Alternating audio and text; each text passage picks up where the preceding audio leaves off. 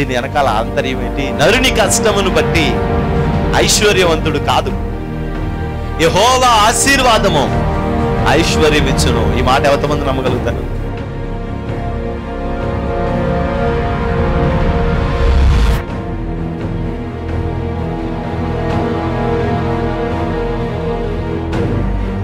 ఆ రక్షణను మనం చూడాలి.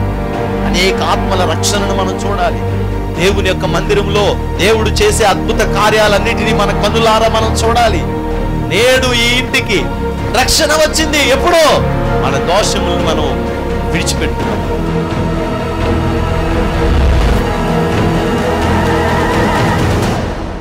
నీ పాపములు శారీరకంగా మరలా చేయకుండా సిద్ధపడి నువ్వు ఇదిగో నా పాపాన్ని నేను వదిలిపెట్టేశాను. ఇదిగో నేను స్థుతిస్తున్నాను. నేను తప్పు చేశాను ప్రభా అని నువ్వు ఎప్పుడైతే వదిలేసి దేవుని దగ్గర ప్రార్థన చేయడం మొదలుపెడతావో పరిశుద్ధాత్మ అగ్ని వచ్చి నిన్ను తాకి శుద్ధి చేసి ఈ పాపములో తొలగిస్తే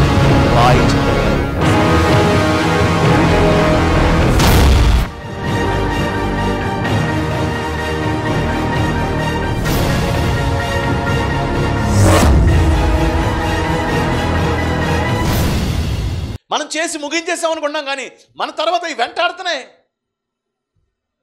తర్వాత కుమిలిపోతున్నాం కుమిలిపోతున్నాం కుమిలిపోతున్నాం. ఎంత బాధపడినా తర్వాత ప్రయోజనం ఏమాత్రం కూడా లేని పరిస్థితి. శాపగ్రస్తుడు శాపగ్రస్తుడు అని పలుకుతుంటే ఒక్కొక్కడికి గుండ్లు పగిలిపోతున్నాయండి. ఈ పనులన్నీ మనం చేసిన వాళ్ళమే ఇంకా ఆ- చరిత్రలోకి వెళ్తే మనం చాలా డీప్గా డీప్గా చూడాలి. మీకు అందులో కొన్ని విషయాలు మీకు ఎరుగుదురే. అయితే ఇలాంటి పరిస్థితులను మనం గమనించినప్పుడు ఎవరిని శాపాల కొండెక్కించాడు దేవుడు?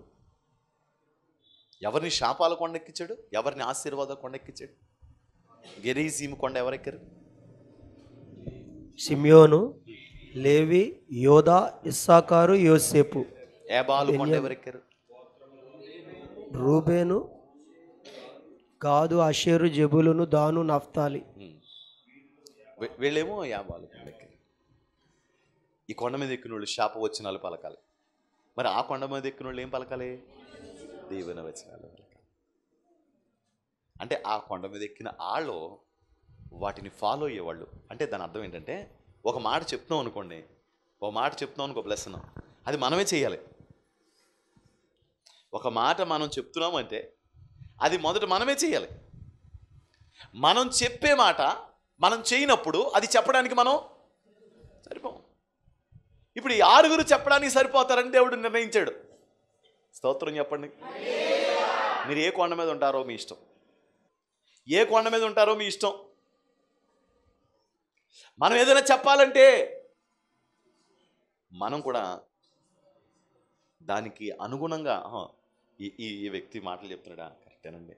ఆయన అంత మంచోడు. ఆ మాట చెప్పడానికి అతడు అర్హుడు. ఆ మాట చెప్పడానికి అర్హుడు? నేను ఇందాక అన్నాను కదండి. రే తల్లిదండ్రుల్ని మొదట చూసుకోవాలిరా. మొదట తల్లిదండ్రులు లేరా మనకి?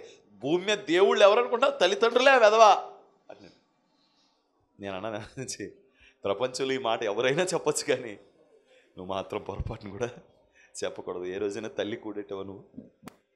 ఏ రోజైనా తండ్రికి కనీసం ఒక ట్యాబ్లెట్ కొనిచ్చావు నువ్వు? నువ్వు ఆ మాట చెప్పడానికి సరిపోతావా? సరిపోవు. అంటే ఒక విషయం మనం చెప్పామంటే అది మనం చేయాలి చేయలేనప్పుడు ఎలా చెప్తాం? కొన్నిసార్లు తర్వాత చేద్దాం తర్వాత చేద్దాం అనుకుంటాను. చచ్చిపోయిన తర్వాత చేసేదే ఉండదు. ఏం లేదు. ఏదైనా బతికుండగానే చేయాలి మనం.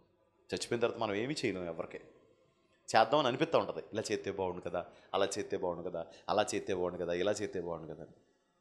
తర్వాత ఏం చేయగలం? ఏమి చేయగలం. ఒకసారి మనిషి ఉండగా మనిషి విలువ తెలియదండి మనిషి లేనప్పుడు చాలా చాలా బాధగా అనిపిస్తూ ఉంటుంది. చాలా బాధగా అనిపిస్తూ ఉంటుంది. ఒకసారి బంధువులు ఇళ్ళకి వెళ్తూ ఉంటాం మనం. ఆ పెద్దవిడ ఉండదు. ఏదో కారణం చేతి చనిపోయింది. అప్పుడు అనిపిస్తూ ఉంటుంది ఆ పెద్దవిడి ప్రవర్తించినట్టు వీళ్ళు ఎవరు ప్రవర్తించలేరు? అమ్మా అమ్మా అమ్మా అమ్మ. తినొచ్చడమ్మా విజయ్ వచ్చాడమ్మా అడికి ఏమైనా పెట్టామా? అమ్మాడికి ఏం సున్నుండి పెట్టామా? అయ్యా డబ్బాలో ఉన్నాయి కదా అని. నేను తిన్నాం మామ నేను తిన్నాం. అంటే ఒరే అరిస్తే తింటావేంట్రా? ఏదోటి పెట్టాలి. ఆ మనిషి లేదనుకోండి ఇంటికి వెళ్ళగానే ఏమంటుంది సార్? ఏమండి? అయ్యో ఒకప్పుడు ఇలాగా ఇంటికి రాగానే ముందు అక్కకలాడిపోయి కడుపు చూసేది. ఇప్పుడు ఆ రోజు మనిషి లేదు. అప్పుడు బాధపడినా? ప్రయోజనం లేదు. ఆ మనిషి ఇప్పుడు లేదు. అరే కొంచెం పాలన్న కలిపి వేడికి వచ్చాడు కదా పిల్లడు అంటది. ఇప్పుడు వెళ్ళేమో మంచినీళ్ళు ఇచ్చి ఎరా సరే పని అయిపోయిందా? వెళ్ళిపోతావా? లేవు. ఆ మనిషే లేదు. ఎక్కడి నుంచి వస్తుంది ప్రేమ నీకు? ఆ మనిషే లేదు. ఎక్కడి నుంచి వస్తుంది ప్రేమ? మనతో ఉన్నవాళ్ళు మనతో ఉన్నప్పుడే. మనతో ఉన్నప్పుడే అవన్నీ ఉంటాయి మనకి. మంచి అయినా చెడ్డైనా కష్టమైన బాధ అయినా అయితే దేవుడు చెప్తున్నాడు అలాంటి వాటిల్లో అలాంటి వాటిని మీరు కాపాడుకుంటూ అలాంటి వాటిని కాపాడుకుంటూ నిలబెట్టుకుంటూ మీరు ముందుకు నడవాలి. అయితే ఒక గుంపు ఉందంట. ఆ గుంపుకి మీరు ఏం పలకాలి? వీళ్ళందరూ శాపాలు పలికారు కదా? ఇంకా కొన్ని మాటలు మనం చదవడానికి ఇబ్బందిగా ఉంటుంది. అందుకని నేను అక్కడతో మానేశాను. ఈ ఆశీర్వాదాల గుంపుల గురించి చదివేసి ముగించేసుకుందాం వాక్యం ఇరవై ఎనిమిదో అధ్యాయం మొదట వచ్చిన నీవు నీ దేవుడైన యెహోవా మాట శ్రద్ధగా విని విని నేడు నేను నీకు ఆజ్ఞాపించుచున్న ఆయన ఆజ్ఞలన్నిటిని అనుసరించి నడుచుకుని నేడలా నీ దేవుడైన యెహోవా భూమి మీద ఉన్న సమస్త జనముల కంటే నిన్ను హెచ్చించును. ఎవరు పలుకాలి ఈ మాటలు? స్తోత్రం. హల్లెలూయా. ఈ మాటలన్నీ ఆశీర్వదించబడిన వాళ్ళు పలకాలి. మరి ఆ మాటలన్నీ ఎవరు పలకాలి?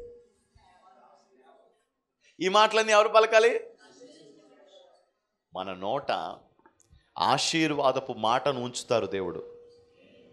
మనం అలాంటి నిర్దోషమైన జీవితాన్ని మనం జీవిస్తే దానికోసం మనం ఏం చేయాలంటండి?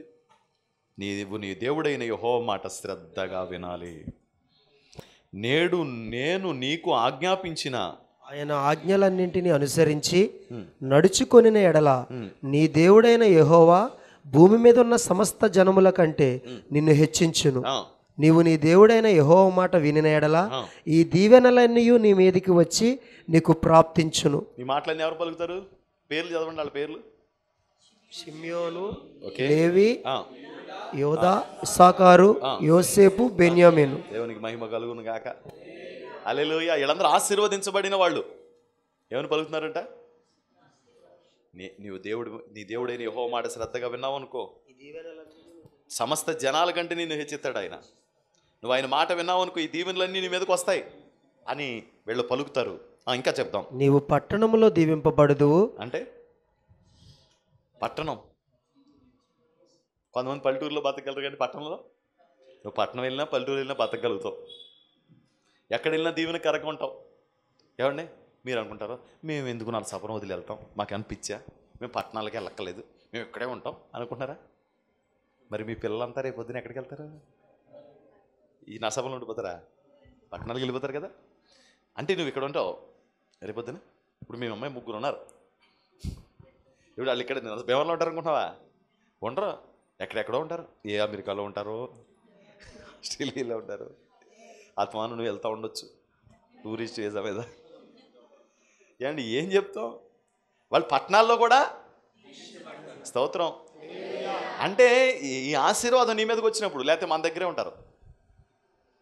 స్కూల్ నుంచి గోడ దూకెత్తారు. బయట రిక్షాల మీద ఫ్లాట్ రిక్షాల మీద కూర్చొని బావా డెబ్బై ఐదు రూపాయలు వచ్చింది రా కిరాయి ఎవరు రాలేరు అనుకుని ఉంటారు. ఇది కావాలా?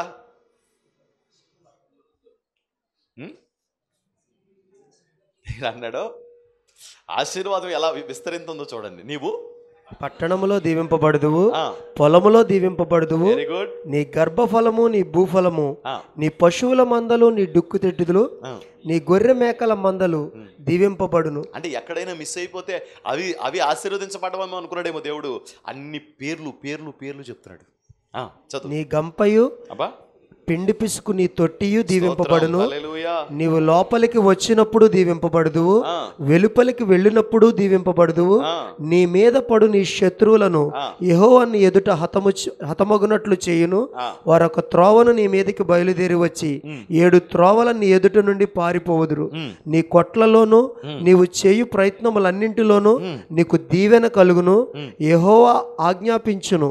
నీ దేవుడైన యెహోవా కలుగునట్లు యహోవా ఆజ్ఞాపించును. ఆజ్ఞాపించును. నీ దేవుడైన యెహోవా నీకు ఇచ్చిచున్న దేశములో. ఆయన నిన్ను ఆశీర్వదించును. స్తోత్రం చెప్పండి అందరూ. ఆమెనండి గట్టిగా అనండి.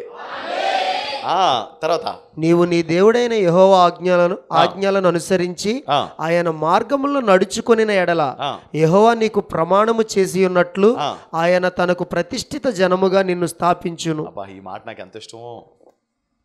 స్థాపించేస్తాడంట తుప్పు వదిలిపోయినట్టు అనిపించదా చెవులకి ఇన్ని శాపాలు చెప్పాడు బాబు. ఇవాళ మొత్తానికి శాపాల పర్వమేమో. ఒకే కొండేమో మొత్తం శాపాల కొండేమో మొత్తం. ఏమండి? రెండు నీ ముందే పెట్టాడు దేవుడు. ఏ మార్గంలో వెళతావో అది నీ ఇష్టం. ఏ మార్గంలో వెంబడిస్తావో అది నీ ఇష్టం. మనం అనుకుంటూ ఉంటాం కొన్నిసార్లు. వీడు ఏం చేయలేకపోతున్నాడు. వీడు ఏమి చేయలేకపోతున్నాడు. వీడి దగ్గర బలం లేదు. అసలు వీడి విషయంలో నేను చాలా బాధపడుతున్నాను ఇబ్బంది పడుతున్నాను అనుకుంటాను. కానీ ఆ వ్యక్తిని కనుక దేవుడు జ్ఞాపకం చేసుకున్నాడు అనుకోండి చదువుకొని ఉద్యోగం చేసేవాడికి పది మందికి ఆడే ఉద్యోగం ఇవ్వగలుగుతాడు. వీడు చదువుకోలేదు. చదువుకున్న పది మందికి వాడే ఉద్యోగాలు ఇవ్వగలుగుతాడు. అది దేవుడు ఆశీర్వాదం. చదువుకుంటేనే ఆశీర్వాదం కాదు. పని చేస్తేనే ఆశీర్వాదం కాదు. వ్యాపారం ఉంటేనే ఆశీర్వాదం కాదు. ఎప్పుడు దేవుడు మన మార్గాన్ని మన పరిస్థితుల్ని తిప్పుతాడో మారుస్తాడో మనకి తెలియదు మనల్ని చక్కబెడతాడు దేవుడు. పది మందికి మనం దీవెనకరమైన వ్యక్తులుగా మారడానికి ప్రభు మనకి మార్గాలు సరళం చేస్తాడు. దేవునికి మహిమ కలుగును. హల్లెలూయా. ఒకప్పుడు ఎవరైనా పెడితే బాగుండు అనుకునే స్థితిలో నుండి మనం పెట్టే స్థితిలోకి ప్రభు మనల్ని తీసుకుని వెళ్తాడు. హైదరాబాద్లోని మేము అట్లు వేస్తారు కదా పొల్లట్లు అంటారు కదా? ఆ పొల్లట్లు వేసే దగ్గర మేము ఆగాం. పలసం చెట్లు. అందరూ తిన్నాం. తింటుంటే కూర్చుండేసరికి అక్కడ ఒక ఫోటో ఉంది. యేసుప్రభు ఫోటో. నేను చూసి ఓహో మన దేవుడు నమ్ముకున్నవాళ్ళ అని చెప్పేసి అనుకున్నాను. సరే టిఫిన్ తింటున్నాం. ఇలాగ ఒక అతను వస్తున్నాడు వచ్చింది ఏంటమ్మది ఏంటిది? అని నాన్న కేకలేస్తున్నాడు. ఏదో మా అతనికి చట్నీ పలసగా ఉందంట అందుకే. ఆ పలసగా ఉన్న చట్నీ ఆవిడ వేసింది. అది ఇలా వంచేసుకున్నాడు. అదంతా మొత్తం పడిపోయింది. ఎంపలు వేస్తాం మేము. మేము అది మేము దోళ కాసుకునే అనుకుంటున్నావా? టిఫిన్లు వేసుకునే వాళ్ళు ఇంక ఇలాంటి చీప్ దానికి మేము రాకూడదు అదేదని చెప్పాను ఈలోగా ఇంకో అతను అన్న నువ్వు ఎందుకన్నా అలా కేకలేస్తావు తుడుతారు తుడుద్దు తుడుచుకుందుకు వెళ్ళి అని చెప్పి అంటే ఇలా నేను అందుకే ఇలాంటి హోటల్కి రానని చేస్తాను సరే ఆడు సీరియస్ అయిపోయాడు బండి మీద వెళ్ళిపోయాడు. అతనితో వచ్చిన స్నేహితుడు మాత్రం అమ్మ బాధపడకపోన్లే ఏదో అన్నాడులే అని చెప్పేసి అన్నాడు అంటుంటే ఎవరండి అయినా నన్ను? ఆయనండి పలానా దాంట్లో ఉద్యోగం చేస్తాడు. ఎంత ఇస్తారని జీతం అని ఆయన ఎంత ఇస్తారు జీతం అన్నాను అతను ఇరవై ఐదు వేలు ఇస్తారండి అన్నాడు. సరే అని చెప్పి అనుకున్నా అయిపోయింది. అంటే నేను ఏదో పెద్ద ఒక లక్ష రూపాయలు జాబ్ ఏమో అనుకున్నాను. అంటే అతను మాట్లాడిన మాటలకి బట్టలు పడేసరికి చిచ్చి ఇలాంటి న్యూసెన్స్ ఇలాంటి వాళ్ళ దగ్గర అసలు సరే వీళ్ళు వెళ్ళిపోయారు వాళ్ళు వెళ్ళిపోయారు. మేము మాత్రం ఏదో మాత్రం మా ఏదో చెప్పాడు దానికోసం వెయిట్ చేస్తున్నాం. నేను ఆవిడ దగ్గరికి వెళ్ళి మెల్లగానే అమ్మా రోజు ఎంత అమ్ముతారమ్మా? అన్నాను. పదివేలు అమ్ముతా ఉంది. పదివేలు అమ్మితే ఎంత ఉంటుంది లాభం? ఖచ్చితంగా ఐదు వేలు ఉంటుంది. ఐదు వేలు అంటే ఎంత? ఆడెంత? ఆడికి ఎంత అండి? వాళ్ళు లాంటి వాళ్ళు ముగ్గురిని ప్లేట్లు కడుగుడానికి పెట్టుకొచ్చావిడి. మీకు అర్థమైంది ఆశీర్వాదం అంటే? అక్కడ నువ్వు ఏం చేసావు అనేది కాదు అక్కడ ముఖ్యం. అసలు ఎలా ఆ రూట్ తెరుస్తాడో మీకు తెలీదు. మనకి మన కన కళ్ళ కనబడి వేరు. కళ్ళ కనబడే వేరు. దేవుడు నిన్ను ఆశీర్వదించ ఆశీర్వదించిన రోజున అమ్మ నిజంగా అమ్ముతావు అంటే అంటే ఒక్కోసారి ఇంక ఎక్కువ అమ్ముతుందండి అందావిడి ఏసు రక్త విజయం ఎందుకు వచ్చింది? ఇవి ఇంకా కదవకూడదు. ఈవిడ ఇంకా పొరపాటు కూడా మనం కదవకూడదు. వాళ్ళు చేసుకొని. దేవుడు ఆశీర్వదించాడు. భీమవరంలో సీతయ్య గారు ఉంటాడు. ఏమండి? అర్ధరాత్రి ఒంటి గంటకి వెళ్ళినా ఏమండి బిర్యానీ? ఆ పోలీసు వాళ్ళు పంపించేస్తారు కానీ ఇతను షాప్ కడతాకుండదు పది రూపాయలు ప్లేట్ పట్టుకుని అమ్మిన పదిహేను రూపాయలకి పలావ్ అమ్మి పది రూపాయలకి అమ్మి. దేవుడు ఆశీర్వదించాడు. ఎంతమంది ఉద్యోగస్తులు ఉంటారు తెలుసా? ఒక నలభై మంది యాభై మంది పనిచేస్తూ ఉంటారు. దేవుడు ఆశీర్వదించలేదా? చికెన్ కుట్ట ఆయన ఆయన చికెన్ అమ్ముతూ ఉంటాడు. రోజుకి లక్ష రూపాయలు అమ్ముతాడంట చికెన్. వ్యాన్ డ్రైవర్లే నలుగురు ఐదుగురు ఉంటారు. దింపేవాళ్ళు పది మంది ఉంటారు. కోళ్ళు కొట్టేవాళ్ళు ఒక ఆరుగురు ఉంటారు. శుభ్రం చేసేవాళ్ళు ముగ్గురు నలుగురు ఉంటారు. ఆశీర్వదించబడలేదా? ఆశీర్వదించబడ్డారా లేదా? నేను దేవుడు ఆశీర్వదింతాడు నువ్వు ఉన్న రంగంలోనే ఏసు నామంలో నువ్వు ఏ రంగంలో ఉన్నావు? అక్కడ నీ ఉద్యోగం ఏంటి నీ చదువు ఏంటి నీ క్వాలిఫికేషన్ ఏంటి ఇదంతా నీకు కానీ దేవుడికి అక్కర్లా. నువ్వు ఎక్కడ ఉన్నావో ఆ స్థితిలో ప్రభు తన చేతులు నీపై ఎత్తుతాడు. దేవునికి మహిమ కలుగునుగా. అలెలుయా అలెలుయా నా చేయి నేను నా చేయిని దేవుడు అలా ఆశీర్వదించాడండి. నా చేయిని దేవుడు ఆశీర్వదించాడు. అంత కృప ఇచ్చాడండి. నేను పని చేసే రోజుల్లో నేను పని పని అంటే పిచ్చికిపోయేది అంటున్నాను అయ్యి బాబోయ్. నేను మార్కెట్కి వెళ్తుంటే ఒకసారి నాకు విచిత్రం అనిపిస్తుంది. ఇప్పుడు ఒకప్పుడు ఇప్పుడే నెలకో రెండు నెలకో మూడు నెలకో మార్కెట్కి వెళ్తుంటే వీళ్ళు ష్. ఏ మార్కెట్లోకి వెళ్తుంటే అండి. నా డెస్క్లో కేజీ బంగారం వదిలేసి వచ్చేవాడిని అలా ఎంతమంది పని చేస్తున్నా బయట పని ఇస్తున్నా సరే పని ఉంటానే ఉండేది నాకు అనిపిస్తుంది మనతో పాటు పనిపోయింది ఏంటి అనిపిస్తుండదు ఒకసారి. మనతో పాటు తీసుకెళ్ళిపోయాడు ఏంటి? అంటే చింతపెక్కలాట ష్, మొన్న? నేను ఏంట్రా అన్నాను. ఏం పని చేయకుండా చింత పనా? అన్నయ్య పనా? ఇంటికాడు ఉంటే ఆడవాళ్ళు ఊరుకోవట్లేదని బజార్లోకి వచ్చి చింతపిక్కలు ఆడుకున్నాం ఒక్కోసారి ఒక్కోసారి ఏమండి? ప్రార్థన అయిపోయిన తర్వాత అర్ధరాత్రి పన్నెండింటికి వెళ్ళి పనిచేసేవాడిని.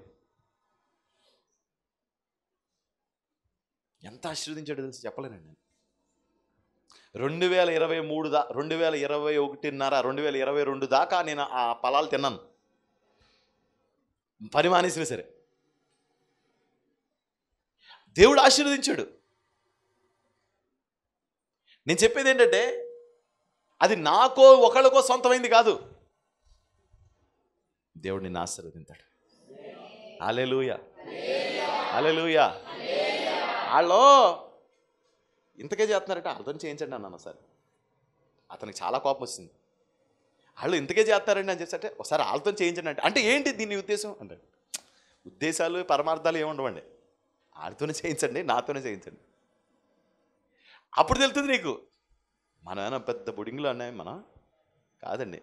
దేవుడు ఆశీర్వదించటంతే ఫెయిల్ అయిపోలేదండి.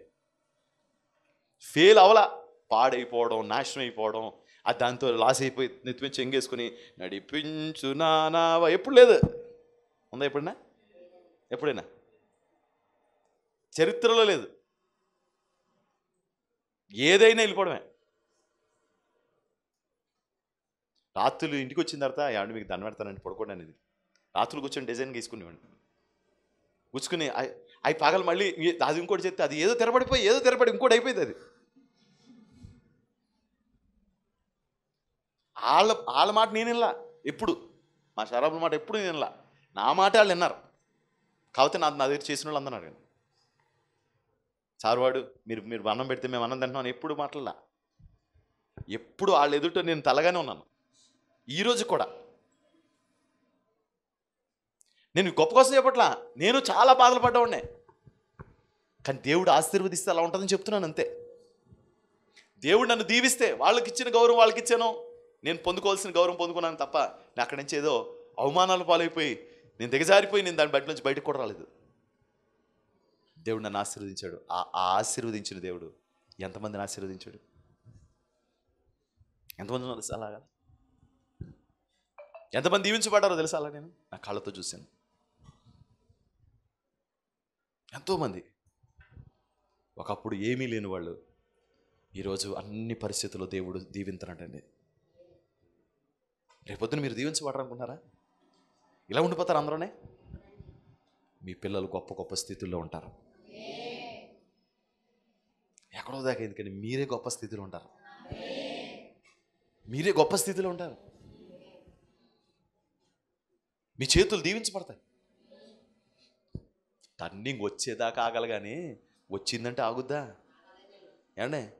అది వచ్చేదాకా వెయిట్ చేయాలి అంతే. అలాగా బిగబెట్టుకుని. వచ్చిందంటే మనం ఆగుతామా? ఏమండి? పెద్ద గొతుకుల రోడ్డు. దుబుకు దుబుకు దుబుకు దుబుకు అని వెళ్తుందండి. కారేమో? అన్న పెద్ద కారు ఏదంటుంది అది? ఏదో పెద్ద కారు. ఎంత పెద్ద కారైనా ఎంత మంచి కారైనా ఆ రోడ్డు రోడ్డు బాగోపోతే ఏం చేయాలి పరిస్థితి? అయ్యి బాబాయ్ సెలెక్ట్ కార్ అన్నావు మంచి కార్ అన్నావు. రేపు వచ్చేస్తుంది ఇంత దైద్యంగా ఉందండి బాబాయ్ బాబాయ్ బాబాయ్ ఒక్కసారిగా హైవే మీద కారు ఎక్కిందండి. డ్రైవర్ ఊరుకుంటాడండి. ఏమండి? ఇక్కడ స్లో అంతా అక్కడ కవర్ చేసాడా? చేస్తాడు? ఆగుతాడా? ఇక ఎక్సలేటర్ మీద కాలు ఎలా ఉంటుందంటే ఫోర్ లైన్ రోడ్డు. ఏసు రక్తమే చేయం ఎక్కడ గంట లైట్ అయింది. ఓ రెండు గంటల ముందు వెళ్ళిపోతాం ఏసు రక్తం చేయం ఎందుకండి? అవకాశం దొరకేదాకా ఆగాలి కానీ దొరికింది అనుకోండి ఏసు నామంలో. మీకు అది దొరికేయాలంతే అది దొరకాలంటే దేవుడు ఏం చేయాలి? మనం వినాలి. ఆయన ఆ- ఆ లిఫ్ట్ ఇచ్చేదాకా. మరి దొరికిన తర్వాత మళ్ళీ తేడాగా ప్రవర్తించామనుకోండి మనం ఏం చేయలేం. మనం ఏం చేయలేం. నీ దగ్గర ఉన్న టాలెంట్లన్నీ వేస్ట్ అయిపోతాయి.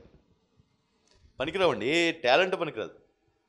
నువ్వు మహాశిల్పివను ఒక ఇంటర్వ్యూ చూశాను మనం భారతదేశంలోనే అత్యు అత్యున్నతమైన బ్యాట్స్మెన్ అంట. అసలు అలాంటి బ్యాట్స్మెనే లేడంట. అలాంటి బ్యాట్స్మెన్ అంట గల్లీలోని వంద రూపాయలు యాభై రూపాయలు పందెలు వేసుకుని ఆడుకునేవాడంట. ఆడు పెద్ద టాలెంట్ పర్సన్ అనంట ఎందుకు? నాకు తెలిసిన ఒక అతను ఉండేవాడు మనోహర్ అని చెప్పి. త్రిబుల్ ఎంఏ లాయర్లు తెలుగులో ఆ లెటర్స్ తీసుకొస్తే దాన్ని ఇంగ్లీష్లో ట్రాన్స్లేషన్ చేస్తే రైటింగ్ ఆ రాత్తం చూస్తే పిచ్చెక్కిపోయింది నాకు. రెండు వందలకి మూడు వందలకి వాళ్ళ దగ్గర బతుకుతుండేవాడు మందు కోసం బతుకుతుండేవాడు చదువు ఎంత చదువు ఎంత మేధస్సు అతనికి. నేను అలాంటి వ్యక్తిని చూడలేదండి. లాస్ట్కి మొన్న హెచ్ఐవి చచ్చిపోయాడంట. లేదు. ఏం పనికొస్తుంది నీ జ్ఞానం పనికిరాదు. నీ తెలివి పనికిరాదు. అందుకే యహో ఆశీర్వాదము ఐశ్వర్యం ఇచ్చును దేవుడు నిన్ను ఆశీర్వదించిన ఆ రోజున నువ్వు చిన్న ఉద్యోగం చేసినా నువ్వు చిన్న పని చేసినా దేవుడు నిన్ను ఆశీర్వదింతాడు. కోట్లు కలిగిన వాళ్ళు మంచి ఇంట్లో ఉండవచ్చు నిన్ను మంచి ఇంట్లో ఉంచుతాడు దేవుడు. ఒక సంపన్నులైన వాళ్ళకి ఒక మంచి విలువైన పరిస్థితి ఉండకపోవచ్చు. నిన్ను విలువైన స్థాయిలో ప్రభు ఉంచుతాడు. వాళ్ళ ఇంట్లో బిడ్డలు లేకపోవచ్చు నీ ఇంట్లో పిల్లలు కలకల్లాడుతూ తిరిగేటట్టు దేవుడు చేస్తాడు. రెండు కొండలు మన మధ్యలోనే ఉన్నాయి. ఒకటి గెరిజీము ఒకటి యాబాలు. ఏ కొండ మీద మనం ఉండే అనుభవాల్లో ఉన్నామో ఒకసారి ఆలోచించుకోండి. దేవుడు అంటాడు నువ్వు ఎక్కడికి వెళ్ళినా దీవించబడతావు. గట్టిగా స్తోత్రం చెప్పండి. ఎక్కడికి వెళ్ళు? నువ్వు ఎవరి దగ్గరికి వెళ్ళు? నువ్వు ఏ ఊరు వెళ్ళు ఏ సునామములో నువ్వు దీవించబడతావు. ఆమెన్. ఈ ఊరు తెలియదు కదా ఈ ఊర్లో మీటింగ్ చేస్తున్నాం. ఏమవుతుంది ఏంటో అనుకుంటూ ఉంటాం. దేవుడు దేవుడు ఘనంగా మీటింగ్ చేసిన తర్వాత అనుకుంటూ ఉంటాం ఏసయ్య ఈ ఊర్లో మాకు ఎవరో తెలియకపోయినా సరే నువ్వు కృప చూపించావు నాయన కనికరించావు ప్రభా. ఏమండి హాస్పిటల్కి వెళ్తూ ఉంటాం ఒకసారి. విచిత్రంగా అనిపిస్తూ ఉంటుంది. హాస్పిటల్లోని వాళ్ళందరూ వచ్చి అన్న మీరు ఫలానా ఫలానా తెలుసు కదని చెప్పి అంటే అసలు ఏ మట్టి పాత్ర ఇది? అసలు ఏ పనికిరాని పాత్ర ఇది? ఈ పాత్ర నువ్వు జ్ఞాపకం చేసుకున్నావు కదా ప్రభా. ఎక్కడికి వెళ్ళినా ఏదో సహాయకుల్ని దేవుడు నాకు ఏర్పాటు చేస్తూ ఉంటాడు. నన్ను ఉంచేవాడు దేవుడు. ఒకప్పుడు ఎన్నో శ్రమలు ఎన్నో బాధలు. కానీ ప్రభా నువ్వు లేకపోతే బతకలేను. నువ్వు లేకపోతే ఉండలేను. నాకు తెలుసు. నేను అడిగింది దేవుడు ఇవ్వడానికి ఇష్టపడినప్పుడు దేవుడు నేను కావాలో లోకం కావాలో తేల్చుకోమన్నప్పుడు ప్రభా నాకు లోకం వద్దు. నువ్వే కావాలి. నీకిష్టం లేనిది నా బ్రతుకులో ఉండకుండును కాక నీకిష్టం లేనిది ఏదైనా సరే అది ఏదైనా నా జీవితంలో ఉండకూడదు. నీకిష్టం ఏదో అదే నా ఇష్టం.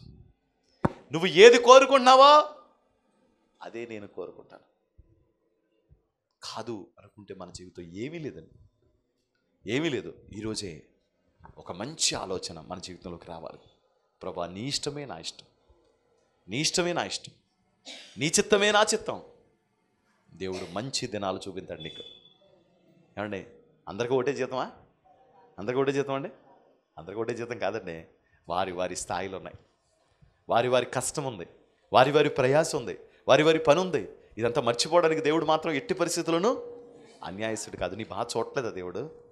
నీ ఏడుపు చూడలేదా నీ ప్రయాస చూడలేదా నీ సమర్పణ చూడలేదా నీ ప్రతిష్టత చూడలేదా ఎన్ని చూస్తున్నాడండి? అందుకే తీసుకెళ్ళాడు. ఎరిజీమి కొండ మీద నిలబెట్టాడు. దేవునికి స్తోత్రం.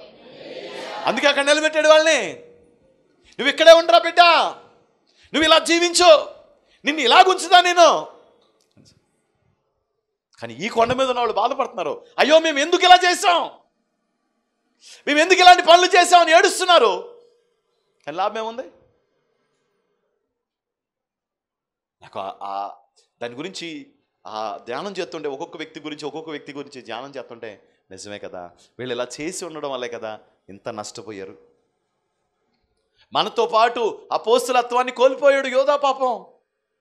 ఎంత గొప్ప స్థానం అండి యోధాది ఎవరిని కావాలంటే శాలెం రాజులు అంటాడుకో లేకపోతే ఏసన్న గారు అంటాడుకో దినకర్ణ గారు అంటాడుకో ఎవరికైనా వస్తుందండి అలాంటి స్థానం? అలాంటి స్థానాన్ని కోల్పోయాడు కదండి చిన్న ప్రలోభానికి. ఎంత మంచి స్థానాన్ని కోల్పోయాడండి. ఏమండి? ఎంత గొప్ప యోగ్యతను కోల్పోతున్నాడు. దైవజనుడు ప్రవక్త అంటే ఎంత గొప్పోడు ఆ ప్రవక్త? ఎలీషా అభిషేకం ఎవరి మీదకి వచ్చింది? ఏలి అభిషేకం? ఎలీషా. ఎలీషా తర్వాత కానీ ఎంత దౌర్భాగ్య పని చేశాడు. తర్వాత గెహాజీ అనే పేరు రాయాలి బైబిల్లో. కానీ సైతాను ఓర్చుకోలేకపోయాడు. గెహాజీని సైతాను వాడి చేతుల్లోకి తీసుకున్నాడు. అంతే సర్వనాశనం అయిపోయింది. తర్వాత గెహాజీ పేరుందా? అతని జీవితం సర్వనాశనం అయిపోలేదా? దేవుని పిల్లారా ఏ ప్రలోభానికి లొమ్మకండి. దేవుని మీద ఆధారపడండి. ప్రభా నీ ఇష్టమే నా ఇష్టం. నీ ఇష్టమే సిద్ధించును గాక నీ ఇష్టం కానిదేది నా ఆయన జీవితంలో జరగనవకం నేను ప్రభా ఆ కొండ మీదే ఉంటాను ఆశీర్వాదాల కొండ మీద ఉంటాను. ఎన్ని రాశాడో చదువుకోండి ఇంటికి లేక ఎన్ని దీవెనలు రాశాడో ఎన్ని ఆశీర్వాదాలు రాశాడో ఎన్ని మేలులను రాశాడో నీకోసం దాచిపెట్టిన మేలులు ఆ కొండ మీద ఉన్నాయి. కాబట్టి అట్టి కృప ప్రభు తన పరిశుద్ధాత్మ ద్వారా మీ అందరికీ అనుగ్రహించునుగాక. మనమందరము వాటిని పొందుకొని దేవునిని మహిమపరచుదుముగాక. మనమందరూ దేవునికి సాక్షార్థముగా జీవించుదుముగాక. అందరూ మోకరించుదాం. అందరూ మోకరించుదాం. దేవుని పాదాల దగ్గర ప్రార్థన చేద్దాం.